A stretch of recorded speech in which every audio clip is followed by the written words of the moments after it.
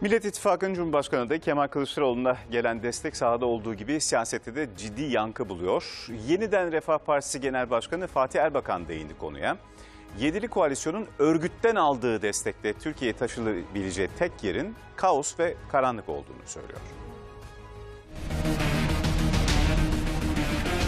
her geçen gün PKK kurucusunun çıkıp destek istediği bir yedili masa karşımızda. Bu da yetmiyor. Fethullah Gülen örgütünün yurt dışına kaçmış olan yöneticileri Sayın Kılıçdaroğlu'na ve yedili masaya o istiyor. Hem FETÖ hem PKK destekliyor dediği yedili koalisyonu yerden yere vurdu. Kandil'den onaylı Kemal Kılıçdaroğlu HDP pazarlığını da unutmadı. Biz HDP'nin 11 maddelik tutum belgesini tamamıyla Millet İttifakı olarak kabul ettik diyor.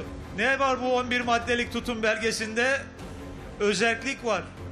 Yerinden yönetim var. Yeniden Refah Partisi Genel Başkanı Fatih Erbakan, isim vermeden milli görüşü temsil edemiyor dediği Saadet Partisi Genel Başkanı Temel Karamollaoğlu'nu da eleştirdi. Bu yedili masa çıkmış diyor ki efendim Ayasofya'nın cami yapılması yerinde bir hareket olmadı. Biz iktidar olursak Ayasofya'yı tekrardan müze olarak hizmete açacağız diyor. İşte böyle bir yedili masa. Bunlar Türkiye'yi yeniden 28 Şubat'ın karanlıklarına götürmenin peşindeler.